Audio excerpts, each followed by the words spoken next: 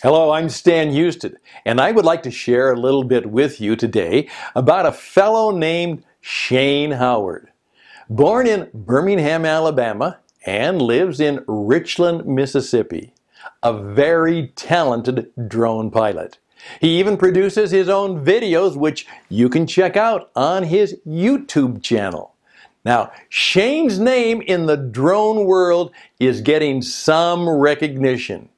If you ask Shane what he loves, he will tell you God, my family, my Doberman, and flying my drone. An awesome guy. Check him out on YouTube, folks.